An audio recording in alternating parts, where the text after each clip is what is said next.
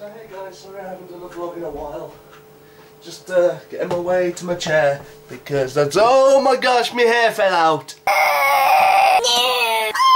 hair. Let's talk about the hair.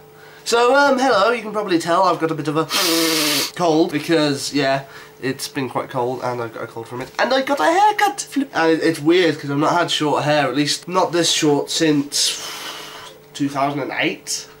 Like six years, five years, kind of lots of no hair.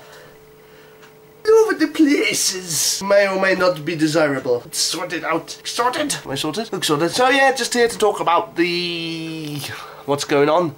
I have a university interview on the 18th of whatever this month is.